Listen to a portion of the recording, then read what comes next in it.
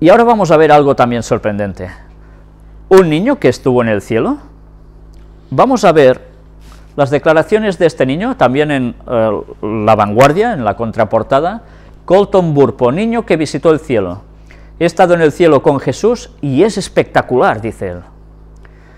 Bueno, vamos a ver qué nos narra este niño, porque él está convencido. ¿Qué te han dicho los médicos de eso? Mi cirujano dijo que me recuperé de modo milagroso, y dice que otros pacientes también han visto cosas. ¿De qué? ¿Viste en el cielo algún familiar? A mi hermanita.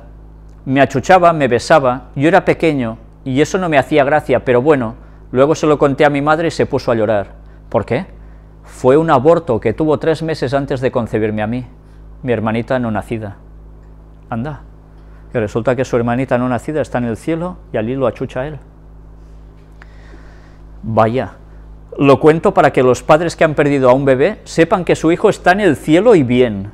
También conocí al abuelo de mi padre, Pop, me contó lo bien que mi padre lo pasaba en su granja de niño.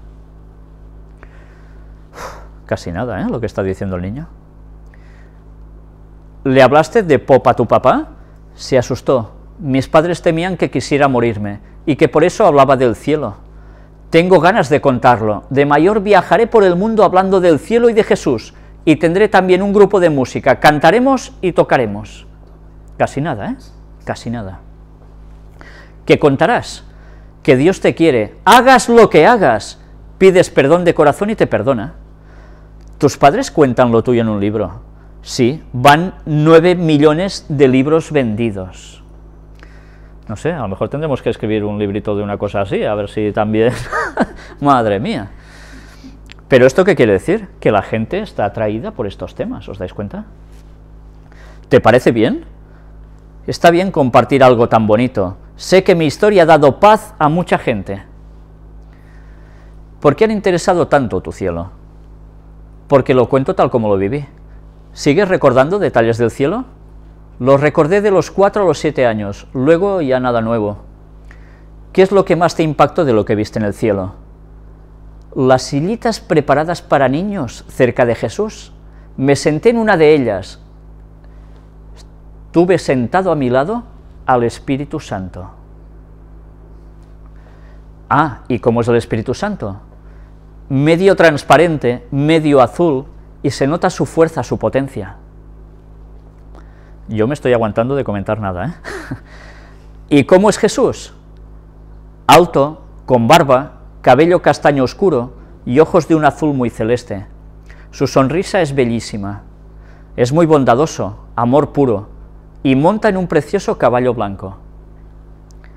¿Y cómo son los ángeles? Se parecen a las personas, pero algo más grandes, con alas. Llevan mensajes de Jesús, protegen a las personas, no paran, el arcángel Gabriel es un bromista, hace reír a todos, y el arcángel Miguel lleva una gran espada en llamas. Luego volveremos atrás a cada una de las cosas que este muchacho está diciendo. ¿Para qué? Para que no entre el demonio en el cielo, porque el demonio todavía anda suelto. ¿Alguno de esos ángeles te protege? Tengo siete ángeles de la guarda, me dijo este verano un, profeta. Además, se lo dijo un profeta. ¿Conoces a algún otro niño que haya ido al cielo? Sí, a un niño de 10 años con un tumor cerebral que se quedó inválido. Lo que más le gustó del cielo fue poder nadar. No te habrás inventado todo esto, Colton, ¿verdad? Yo sé lo que vi, lo cuento tal cual lo vi, y no tengo que demostrar nada. Ya lo demostrará Dios si quiere. ¿Por qué crees que Dios te ha permitido a ti ver el cielo y no a otros? Dios ha elegido a mi familia, pero yo no puedo saber por qué. ¿Querrías volver al cielo? ¿Sería tan agradable? Pero ahora tengo trabajo que hacer aquí, por encargo de Dios. ¿Qué tienes que hacer? Hablar de Jesús con todo el mundo, hablar contigo. Hacer esta entrevista es parte de mi misión aquí. ¿Tienes miedo a la muerte? No, porque ya sé lo que pasará. Yo ya sé que el cielo es real. Casi nada, casi nada, ¿verdad? Vamos a analizar un poco las frases de este muchacho que ha conseguido vender 9 millones de libros. Primero de todo, vemos que ha sucedido algo, milagrosamente se recupera de lo que él tenía, y dice de que él ha visto cosas, otros pacientes también. Y cuando le preguntan qué ha visto a su hermanita, que resulta que era un aborto, y claro, además lo achucha él, murió y está en el cielo. Y dice que esto es una esperanza para los padres que han perdido un bebé, que su hijo está en el cielo y está bien. ¿Sabéis? Hay algo curioso. Elena Guay habla sobre los niños que han fallecido siendo pequeños. Y habla del momento de la resurrección. Cuando Jesús vuelve por segunda vez, los niños pequeños, hijos de los padres que van a ser salvos, los ángeles los pondrán en las manos otra vez de sus madres, irán juntos al cielo. Pero los niños no están ya en el cielo, hay una gran diferencia. Pero es que además, ya veis, dice que estaba el abuelo de su padre. Los muertos no están en el cielo. Solo Moisés murió y fue trasladado al cielo, al igual que ese grupo de gente que resucitó con Jesús y fue trasladado al cielo como primicias de los que van a resucitar, como una promesa y garantía para nosotros. Pero no más. Elías y Enoch fueron trasladados sin ver la muerte, tal como van a ser los 144.000 en el tiempo del fin. Sigamos. Los padres dicen que se asustan creen que el niño, pues, eh, algo pasa, ¿no? que tiene problemas y por eso el niño piensa en el cielo. Luego, además, sigue diciendo que hagas lo que hagas, Dios te perdona si pides perdón de, de todo corazón. ¿Esto es verdad? Sí. Si tú haces lo que haces, no importa, hagas lo que hagas, si realmente te arrepientes de todo corazón, no fingiendo y no volviendo a ir por los mismos fueros, sino queriendo cambiar, Dios te perdona. Casos en la Biblia vemos a multitudes. Mirad con qué sutileza se puede mezclar la verdad con la mentira. Después habla de los nueve millones de libros vendidos, casi nada. Así da paz a mucha gente. Lo que está dando es un mensaje satánico impresionante. Él dice que cuenta lo que ve, luego ya no recuerda más cosas en concreto, pero mirad que llega un momento en que dice que hay sillas preparadas muy pequeñas para niños cerca de Jesús. Evidentemente esto a qué nos remite bíblicamente. ¿Recordáis la escena cuando dice, dejad a los niños, venid a mí, no se lo impidáis, porque de ellos es el reino de los cielos? Si no fuerais como niños, no entraréis en el reino de los cielos. Porque los discípulos decían, niños, no molestéis al maestro. Y Jesús, no, no, dejad que los niños vengan a mí. Pues por tanto, con un texto bíblico enseguida podemos asociar lo que allí puede llegar a ser. Mirad qué fácil, ¿eh? por conceptos, eh, pam, conceptos de ideas y paralelas, captaríamos eso como una verdad, y no es así. Dice que además se sienta en una de ellas y a su lado se le sienta el Espíritu Santo, que es medio transparente, medio azul, se nota su fuerza y su potencia. Medio azul. Luego vamos a hablar de los niños índigo si da tiempo hoy.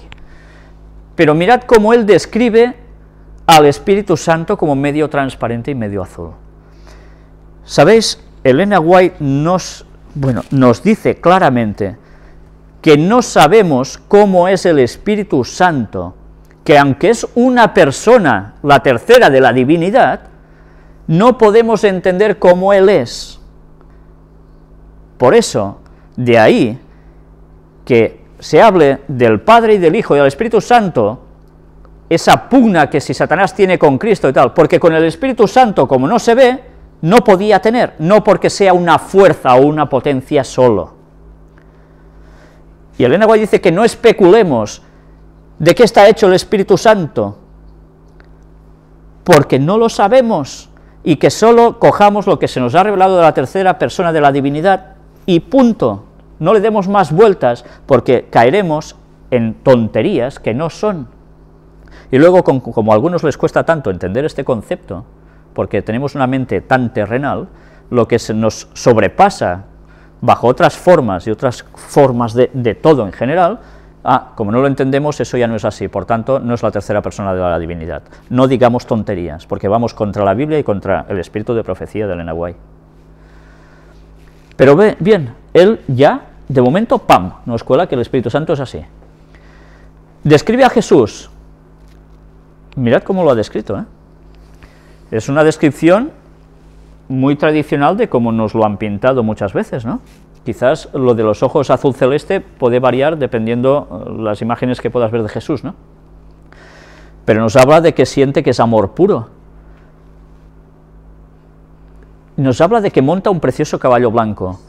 Evidentemente, cualquier persona que haya leído un poco la Biblia relaciona este texto cuando aparece en el Apocalipsis. Nos describe cómo son los ángeles. Muy bien, pero cuidado, porque luego nos describe que el ángel Gabriel es un bromista, evidentemente sentido del humor tendrá, pero cuidado, luego nos dice el arcángel Miguel lleva una espada muy grande en llamas. Cuidado, ¿quién es el arcángel Miguel? Si es Jesús mismo el arcángel Miguel, ¿cómo nos dice el que es otro? Mirad con qué sutileza nos están colando conceptos que no son. Luego, además, claro, nos sigue advirtiendo contra el demonio, y dice que este arcángel Miguel lleva la espada precisamente para que no la líe en el cielo el demonio. Vamos a cerrar el tema de las puertas dimensionales, dentro de pocas conferencias, espero, si Dios quiere, y haremos referencia precisamente a esto que este chico dice aquí, pero con la verdad, no con esta espada que dice que tiene el arcángel Gabriel, que no es Jesús según él, en este caso. Porque algo hay de control de acceso al cielo. Y de eso nos servirá prácticamente como conclusión de todo el tema de las puertas. Luego además dice que él no tiene un ángel de la guarda, tiene siete. Pues algunos se ha quedado sin ángeles, ¿eh? porque si tocan, teóricamente se nos dice que todos tenemos un ángel de la guarda, él porque debe tener siete. Se ve que es un niño muy especial, ¿no? Pero lo curioso es que además se lo dice un profeta, ¿qué profeta? ¿Qué profeta se lo dice? Si los profetas, según él, si están muertos, deben estar en el cielo, ¿quién se lo ha dicho? ¿Alguien en el cielo? ¿O se lo ha dicho un profeta? Porque él dice que esto es de cuando era pequeño, o más pequeño. Se lo ha dicho un profeta este verano, estando en vida. O sea, que hay algún profeta suelto por allí, por aquí, no sé por dónde. Entonces, ¿qué tipo de profeta es? Mirad que ya es un interrogante. ¿eh? ¿Qué dijo Jesús? Habrá falsos cristos y falsos profetas. Luego, claro, nos va especulando otra vez de si ha habido más niños que han pasado por otras cuestiones graves, como un tumor cerebral, que ha ido al cielo, que allí nadaba, etcétera, etcétera, ¿no?